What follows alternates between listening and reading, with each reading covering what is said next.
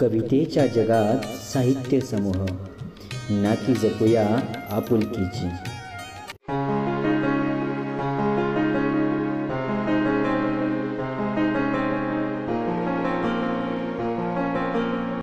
नमस्कार.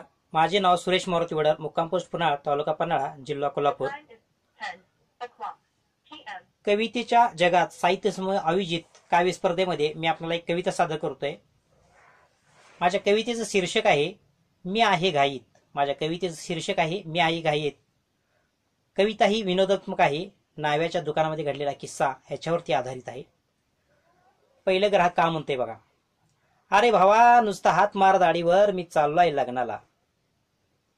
मी आहे घाईत. अरे भावा नुसता जरा थांब ह्याची होऊ दे दाढी. नाही नाही माझा आधी घे दाढीचा नंबर मी चाललोय लग्नाला. मी चाललोय लग्नाला मी आई घाईत. अरे बा अरे भावा दाढी होऊ दे चकाचक पावडर लाव पकापक मी चाललोय लग्नाला मला मिळू दे जीवनाची जोडी धरणे एखादी. मी आहे घाईत मी आहे घाईत मी चाललोय लग्नाला. अरे भावा चेहरा कर माझा फ्रेश मला पाहून मुली होऊ द्यात खुश मी आहे घाईत मी आहे घाईत. अरे बाबा दाढी कर पटापट पावडर लाव चटाचट माझा चेहरा पाहून चुंबन घेऊन द्यात पटापट. मी आहे घाईत मी आहे घाईत मी चाललो आहे लग्नाला मी चाललो आहे लग्नाला. तर त्याच वेळी दुसरं ग्राहक येतं आणि काय म्हणतं पहा. अरे दाद्या माझ्या केसाला मार कात्रीचा कट. कांगवा फिरवला होईल मी सन्मान भट. नको करू बडबड आटप दाद्या पटपट. मी आहे गाईत मी चाललो आहे लग्नाला.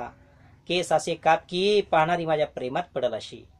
करू नका ग अति घाई? नाहीतर होईल चमन सारी. मी आहे घाईत. मी चालला चाललो आहे लग्नाला. डोळ्याला गागल पॅशनवाला हातात कडी सोन्याची फिरायला गाडी हिरो होंडाची. मोबाईल फोन भारी कंपनीची. आरशात पाहून मी दिसू लागलो हिरो वाणी. नावी म्हणाला you are beautiful you are beautiful मी त्याला म्हणालो करू नको माझी चेष्टा. मी परवा रेल्वेने गेलो होतो पंढरपूरला.